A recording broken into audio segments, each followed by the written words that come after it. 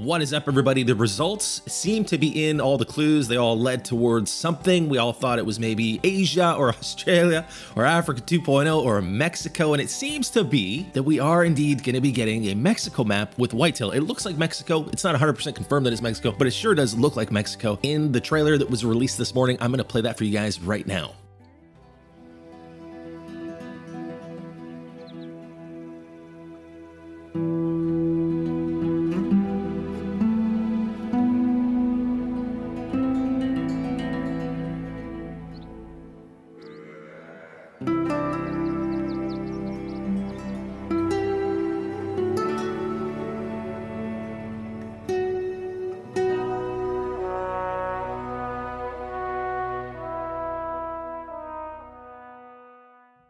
So we get another map with whitetail. Now this leads me to some questions. Now obviously, as we all know, well most of us, and if you didn't know, now you do know, uh, the whitetail have been in really, really rough shape. Actually, most recently for me on my map, I've gotten to the point where I've got one or two zones with bucks. I've been grinding whitetail since January. I'm about 2,000 kills into it, and it's gotten to the point where it's pretty much completely dysfunctional to the point where I've pretty much stopped doing the grind.